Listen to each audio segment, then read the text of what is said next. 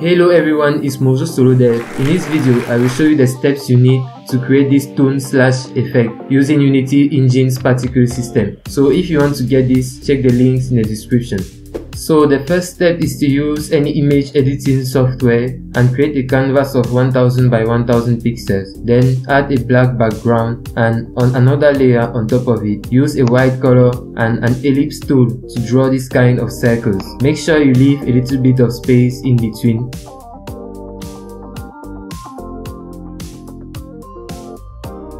Then with an ellipse select tool, remove this part of the circle. And using a soft airbrush tool, lightly paint over the texture.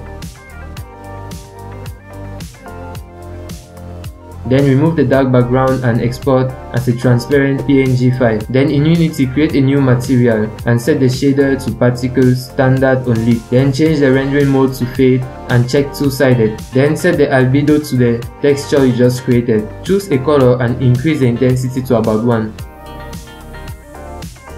Then create an empty game object and under it create a particle system. Then set the duration to 1, the start lifetime to 0.3, the speed to 0 because it doesn't need to move, the size to 3. Remove shape and change the emission rate to 0 with a burst count of 1. Then apply the slash material you just created and change the render alignment to local. And then rotate it Then add rotation over lifetime with a value of about 550.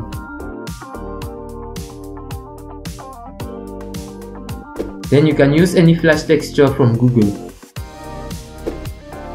In Unity, duplicate the slash material and replace its texture by the flash texture.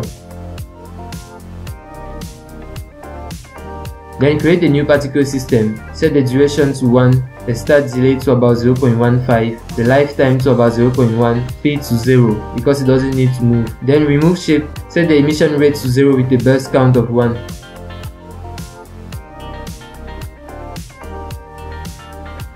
And add size over lifetime with this curve. Then assign the flash material. And then reposition it correctly and if you want you can increase the intensity and this is what it looks like for now.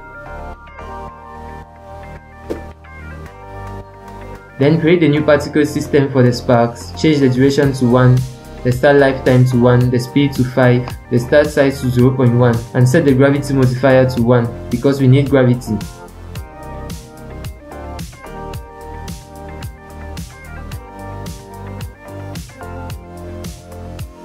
Then make sure the shape is cone, change its rotation and its radius.